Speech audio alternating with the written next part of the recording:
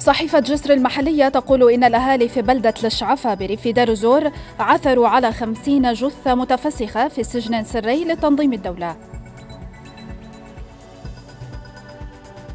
إصابة الشاب عمر الدمشقي بانفجار عبوة ناسفة في مدينة سرمدة بريف إدلب الشمالي.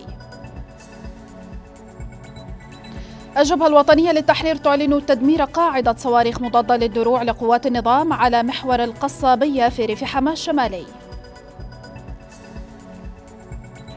وكالة أنباء نظام سانا تقول إن 12 شخصا قتلوا إثر سقوط قذائف على قرية لضويح جنوب حلب.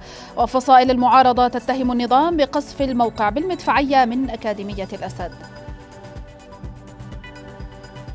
قوات النظام تعتقل 12 من النشطاء والعناصر السابقين في صفوف المعارضة والفصائل في بلدة عقربة بريف دمشق رغم تسوية أوضاعهم ضمن اتفاق مصالحة.